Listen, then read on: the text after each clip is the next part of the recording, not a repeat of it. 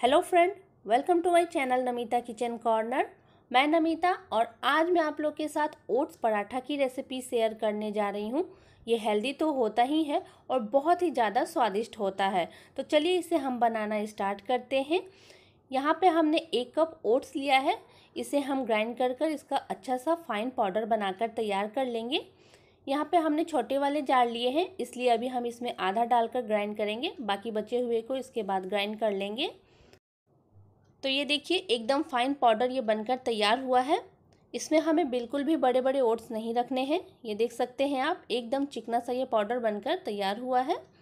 तो अब हम इसे एक बाउल में डाल लेंगे, जिसमें हम आटा को लगाएँगे, उसी में हम इसे डाल लेंगे और जो बाकी ओट्स बचे हैं, उसे भी इसी तरीके से ग्राइंड कर लेंगे। तो ये हमने सारे ओट्स को ग्राइंड कर लिया अभी हमने इसमें एक हरी मिर्च डाल दिया है बारीक कटी हुई। आप अपने स्वाद के अनुसार डाल सकते हैं। और यहाँ पे हमने थोड़ी सी सब्ज़ियाँ ली हैं, कैप्सिकम, गाजर और प्याज को। कैप्सिकम और प्याज को हमने छोटे छोटे काटा है, एकदम बारीक, और गाजर को कद्दूकस कर लिया है। सब्जियों को हम एकदम बारीक काटेंगे ताकि जब हम पराठे बनाएँगे तो फटे नहीं। और ये हमने थोड़ी सी धनिया पत्ती ली है, एक चम्मच बारीक कटी हुई।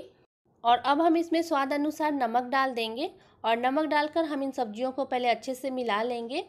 उसके बाद हम इसमें थोड़ा थोड़ा पानी डालकर इसका सॉफ्ट आटा गूंद कर तैयार कर लेंगे।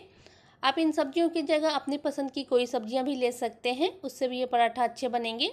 तो ये देखिए, इसी तरीके से हम थोड़ा थोड़ा पानी डालकर सॉफ्ट आटा लगाएँगे। ओट्स जो है वो बहुत ही अच्छा हेल्दी ग्रेन होता है और इस तरीके के पराठा बनाकर आप खाएँगे तो आपको बहुत ज़्यादा स्वादिष्ट भी लगेगा। तो अभी आप देख सकते हैं, ये आटे को हमने बहुत ही अच्छे से मसल कर सॉफ्ट कर लिया है और अब हम इसे थोड़ा सा तेल लगाकर चिकना कर लेंगे क्योंकि अभी देखिए हाथों में है, चिपक रहा है। तो यहाँ पे हम थोड़ा सा घी या तेल कुछ भी ले लेंगे, इस तरीके से हाथों में लगाकर इसके हम तीन इक्वल पार्ट बना लेंगे।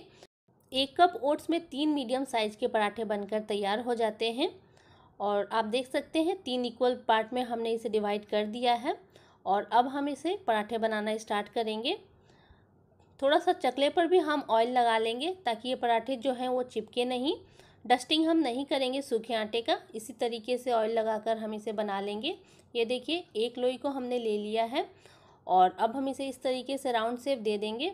उसके बाद हम इसे चिपटा कर कर बेलेंगे।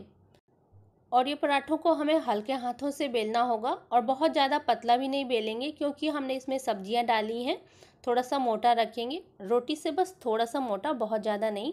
ये देखिए, इस तरीके से हम इसे हल्के हाथों से बेलेंगे।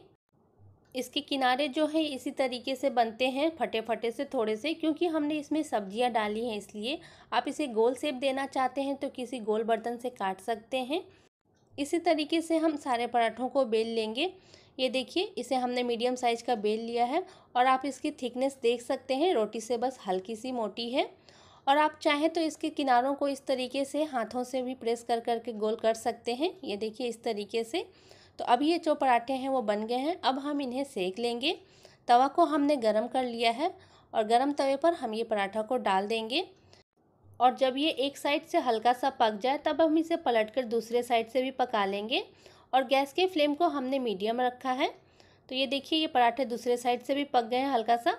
और अब हम इन्हें पलट कर इसमें घी लगा लेंगे और ये पराठों को घी लगाने के बाद हम थोड़ी देर तक पकाएँगे, जब तक ये दोनों साइड से हल्के हल्के सुनहरे ना हो जाएँ। और इन्हें बहुत ज़्यादा पलटना भी नहीं होता है, बहुत ज़्यादा हम इसे पलटेंगे तो ये टूट जाएँगे। तो एक बार जब ये अच्छे से सीख जाए, तब हम इसे पलट कर दूसरे साइड से भी सेक लेंगे।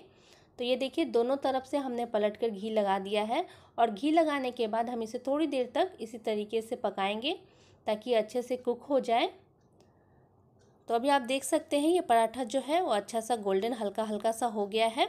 दोनों साइड से हमने इसे अच्छे से गोल्डन हल्का हल्का कर लिया है और ये पराठा बनकर तैयार हो गया है।